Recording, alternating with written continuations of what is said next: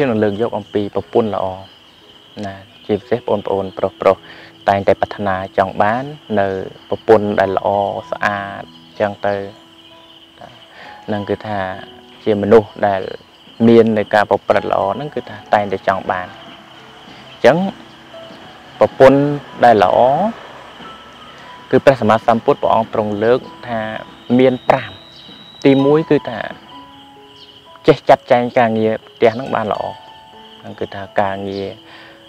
នៅក្នុងផ្ទះហ្នឹងគឺបោសសម្អាតឬក៏ចាត់ចែងកូនអីអីមកសពនៅក្នុងផ្ទះហ្នឹងគឺថាចាត់ចែងការងារបានល្អអាហ្នឹងគឺប្រពន្ធល្អនៅក្នុងផ្ទះហ្នឹងណាមើលផ្ទះមើលសំបែងមើលខោអាវមើលសម្លៀកបំពាក់មើលចានមើលឆ្នាំងណាស្អាតស្អាតហ្នឹងគឺ គាត់នឹងតែងតែមានការរៀបចំចាត់ចែងយ៉ាងល្អចាត់ចែងការងារផ្ទះល្អណាហើយដល់ពេលទី2គឺថាប្រពន្ធនឹងមានការសង្គ្រោះញាតទាំងសងខាងហ្នឹងមិនថាអីចិញ្ចឹមតែម្ដាយពុកខ្លួនឯងនឹងហើយម្ដាយក្មេកពុកក្មេកអត់ទទួលខុសត្រូវអត់មើលទេគឺថាបើមាន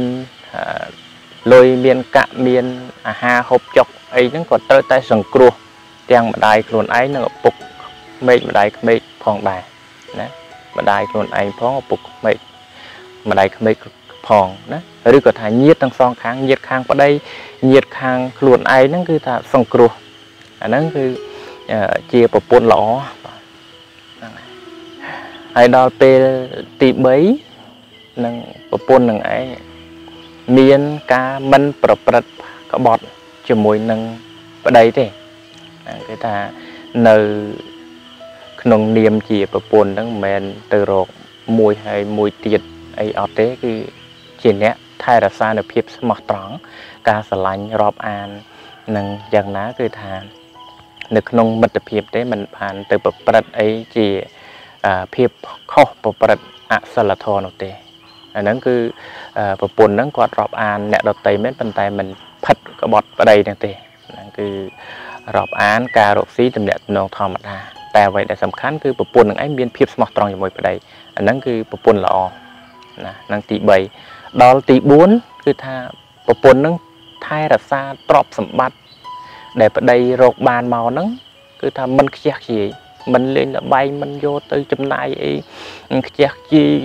នឹងអាងទៅថាប្តីរស់មកហើយគឺប្រឹងតែចាយប្រឹងតែលេងលបែងប្រឹងតែចំណាយទៅរឿងអត់ប្រយោជន៍ទេគឺគាត់ចេះសន្សំចេះទុកដាក់នឹងឲ្យល្អនឹងទ្រព្យសម្បត្តិដែលប្តីប្រឹងរកមកហ្នឹងគឺថាមានការប្រព្រឹត្តទៅទុកដើម្បីចិញ្ចឹមកូនចិញ្ចឹម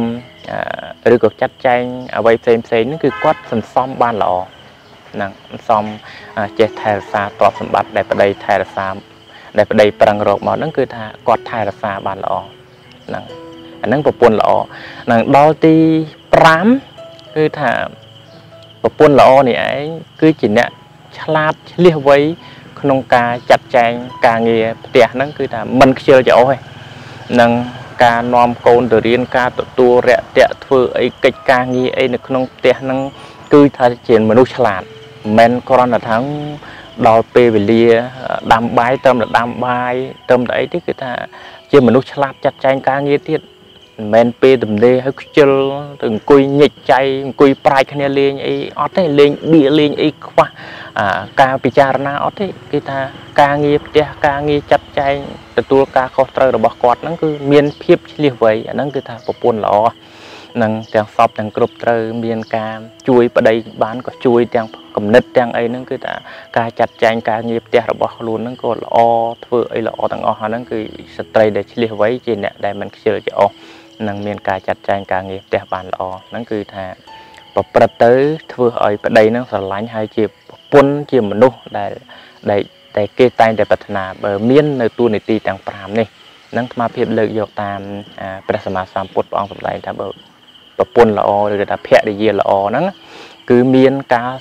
ប្រព្រឹត្តទៅតាមនទូនីតិដែលមានការគោរពប្រតិបត្តិតាមទូនីតិហ្នឹងគឺថាជាមនុស្សល្អជាស្ត្រីល្អឬក៏ថាជាប្រពន្ធរបស់គេដ៏ល្អនឹងដែល